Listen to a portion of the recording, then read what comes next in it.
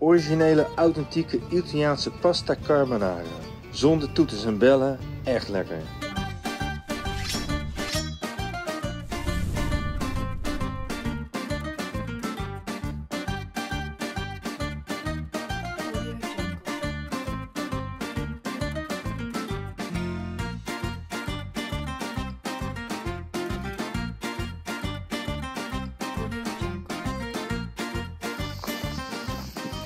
Hey, ik ben weer in Bella Italia en ik ben hier om de authentieke Italiaanse keuken te leren kennen. Want misschien zoals je zelf ook wel weet, in Italië worden gerechten vaak heel anders gemaakt zoals wij het in Nederland kennen. Zo maak ik vanavond een pasta carbonara. En jij kent het misschien eh, van, pasta met een roomsausje, wat je gewoon met een uh, pakje uit de supermarkt maakt. Maar dat wordt hier heel anders gemaakt. Ze gebruiken hier eigenlijk alleen maar eieren, guanciale, dat is wangspek, parmezaanse kaas, peper en zout en olijfolie. En dat is het eigenlijk. Gewoon simpele ingrediënten van goede kwaliteit. Dat is altijd het beste in Italië. Nou ja, ik ga het je laten zien in mijn vakantiehuis vanavond. Dan ga ik lekker koken. Zie je later. Ciao. Hey, ben ik weer. En ik ook. En Hugo ook. Ja, ik heb je al meer uh, laten zien van Hugo. Uh, Hugo die heeft een jaar lang in Bologna gestudeerd. En hij is ook eerder naar Nederland gekomen. En daar hebben we ook lekkere gerechtjes gemaakt. Onder andere de gnocchi alla Sorrentina. Als je die film nog niet hebt gezien, hier is de link. Ga je daar zo naartoe. Hugo is nu klaar met studeren in Bologna, dus we hebben hem erop gehaald. En nu zijn we in ons vakantieverblijf in Piemonte. En we gaan een lekkere carbonara maken. Laten we gaan beginnen, hè? Ja. Of heb je nog iets over te vertellen? Ja, carbonara is een gerecht dat origineel uit uh, Rome komt. In Nederland is het totaal veranderd tot een roomsaus met champignons erin en weet ik veel wat, wat ze allemaal ingooien. Maar het is totaal anders dan uh, wat ze in Rome eigenlijk maken. En naar mijn mening is degene die ze in Rome maken vele malen lekkerder. Ja. Um, en wat ook een uh, belangrijk ingrediënt is, er zijn eigenlijk maar weinig ingrediënten die erin gaan. Dat is parmezaanse kaas, olijfolie, spaghetti en guanciale. Guanciale, dat is uh, wangspek van het varken. En dat is in Nederland niet zo goed te krijgen, maar dat is wel een belangrijk ingrediënt. Dus als je dit wil maken en je echt de originele receptuur wil volgen, probeer er aan te komen. Een goede slager heeft het wel. Anders kun je het wel vervangen door ontbijtspek, maar het heeft toch wel een beetje andere smaak. We gaan lekker koken.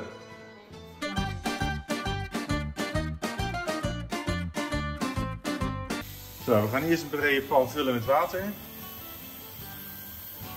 En dat brengen we aan de kook met een beetje zout. Terwijl het water aan gaat koken, gooien we de guanciale erin om die lekker uit te gaan bakken. Ja, dat moet lekker krokant uitgebakken worden, denk ik. Ja, klopt. Die mogen er heel lang in blijven, uh, tot het echt gewoon, ja, gewoon lekker bruin wordt. Dat het ja. krokant laagje krijgt. Ja, en dan uh, zal er een hoop vet uitkomen, maar dat gaan we gewoon gebruiken volgens mij. Ja, precies. Kijk, dus uh, vijf eieren splitsen. We koken voor vier personen vanavond.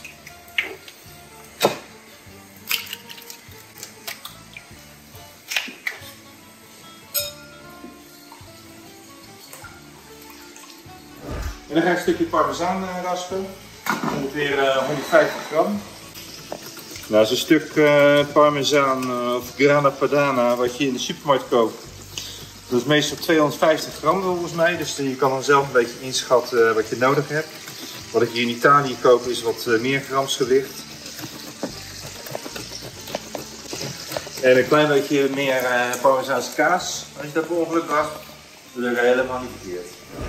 Dan ga ik het grootste gedeelte van die parmezaanse kaas ga ik bij het ei doen. En ik bewaar nog een beetje voor het garneren straks op het einde. Dan mag je ook nog even de doorheen kloppen. Nou, mijn zoon, en die kan het weten, die zegt net dat ik de parmezaanse kaas te grof heb geraspt. Dus uh, gebruik even de fijne rasp. Of uh, koop gewoon fijn geraspte parmezaan in de winkel, dat kan natuurlijk ook. Nou, de, het water dat kookt. We kunnen alle spaghetti hier een beetje zo in doen. Ja, je legt zo in het rondje zodat het daarna straks lekker zo naar beneden kan zakken. Ja. Als het eh, wat zachter Ja. wordt. Precies. Het gaat dan wat makkelijker. Nou, de pasta gaan we dan eh, al dente koken. Dat is zo'n 10 minuten à 11 minuten.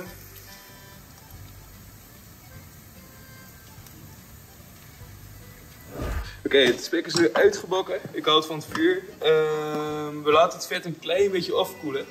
eh, zodat we het straks bij het eenmengsel kunnen gooien. Ehm, en waarom we het laten afkoelen is dat het niet gelijk gaat stollen bij, eh, bij de plekken waar het vet het eh, het ei zal raken. Oké, dan gooi ik nu het vet bij, de, bij het mengsel. De Nederlanders die aan de lijn zijn, die mogen wel iets minder vet gebruiken als ze willen. Maar vet zorgt wel voor smaak. Dus hou dat wel voor ogen. En dat gaan we doorroeren. Ja, je ziet nu dat het vrij klonterig is nog door de, door de kaas, wat normaal gesproken al een sausje is. Maar dat, dat, ehm och, dat wordt goed. Nou heb ik me laten vertellen dat het pastawater vol met zetmeel zit. En dat daarom dus wat pastawater gebruikt wordt voor de saus. Dat klopt Ja. hè? Dat klopt. Goed, eh laat het een beetje uitdikken, de saus. Ja. En daarom gieten we wat van, de, van, de, van pastawater alvast in de saus. Ik doe, doe, doe vier eetlepels bij, eh, bij het eh, sausje.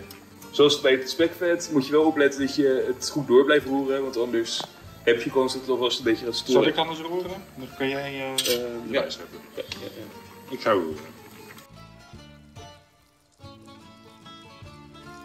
Als de pasta klaar is met koken, zet het vuur uit en dan, giet, dan pakken we de spaghetti. En die doen we bij eh, de guanciale.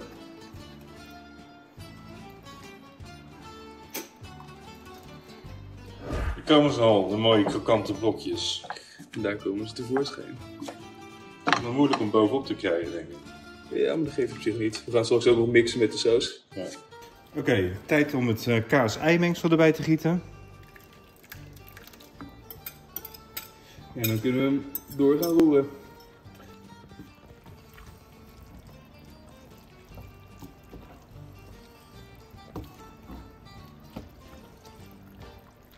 Nou, ik ben als onwetende Hollander ben ik, het, uh, ben ik de peper vergeten. Die had in de saus gemoeten gelijk.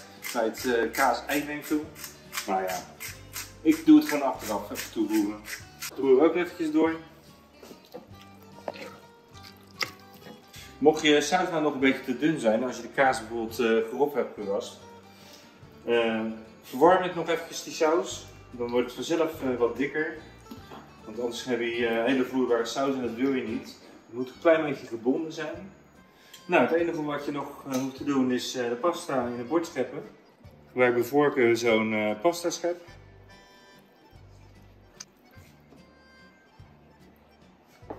Zo een beetje van die parmezaanse kaas eroverheen, hier bewaard.